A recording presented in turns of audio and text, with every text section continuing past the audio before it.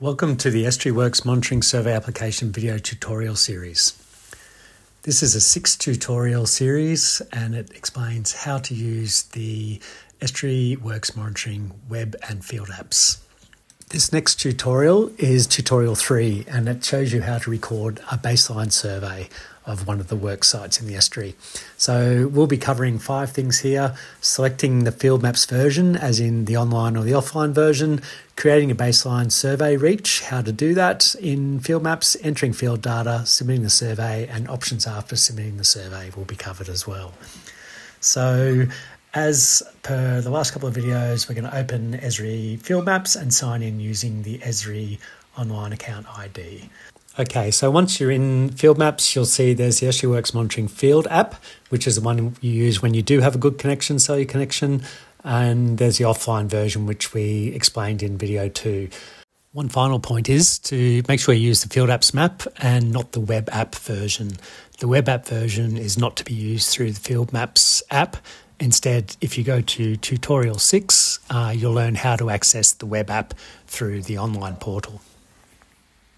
Okay, so you're in now, you're around the site where you're going to monitor. You can start collecting a survey segment by pushing the little blue uh, cross in the bottom right hand corner. And then the way to start putting the segment in is to use the add point button. Where the point will be added is the center of that circle there. So we move that to where we want to start the segment and we add a point. We can then move that along further and keep adding points till we've covered the section that has the works that we're monitoring in them. So once you've completed the section, you can start to put in some details like what's the LGA area, what's the estuary name, for instance, is another thing. And you'll see there's quite a lot of fields you can fill out. The time and the date, of course, are quite important. It can be linked to the tide. Um, and also that will be referenced when you do a report for the data of recording. You can put in the person who surveyed, how it was surveyed, and what the title situation is uh, at the site at the time of survey too.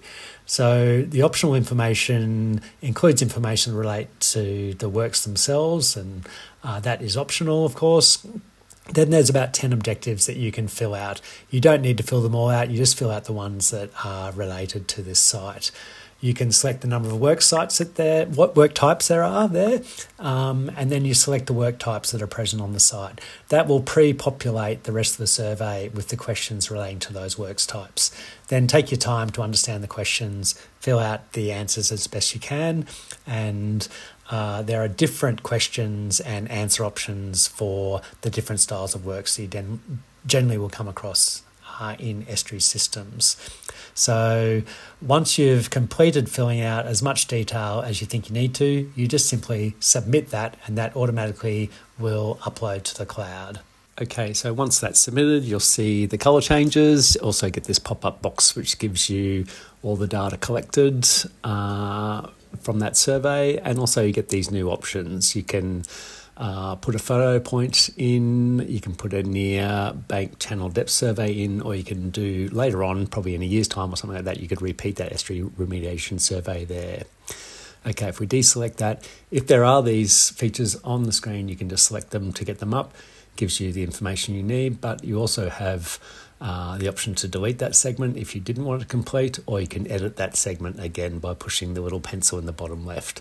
So that brings up all the data that you've previously entered, and you've got the option to edit that there. All right, let's cancel out of that. So you've completed tutorial three now. So the next tutorial is how to take the monitoring photos and record channel depth surveys and, and attribute them to that segment. All right, thank you.